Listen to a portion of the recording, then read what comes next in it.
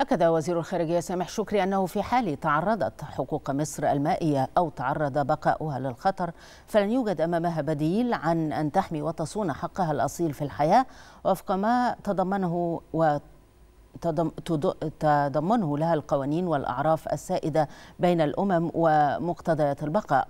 جاء ذلك خلال كلمة وزير الخارجية أمام مجلس الأمن في جلسته التي عقدت بناء على طلب مصر والسودان لمناقشة قضية سد النهضة.